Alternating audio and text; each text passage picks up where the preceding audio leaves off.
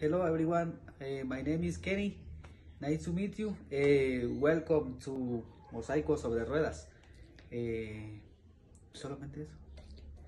Thank you for the wheelchair. Thank you for the wheelchair.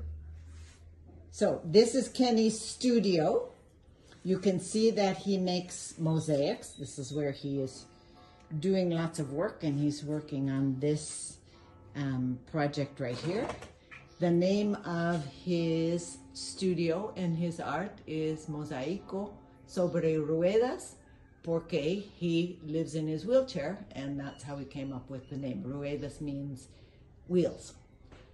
So he makes his mosaics while he is in his wheelchair. And you can see he's got lots of material. A lot of this is recycled material, material that he looks for or he asks other people to keep an eye out for. So this is broken ceramic, broken mirror.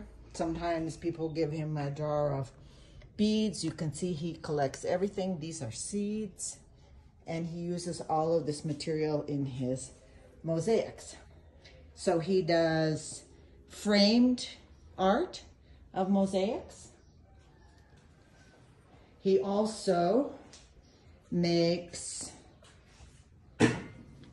plant pots. These are clay pots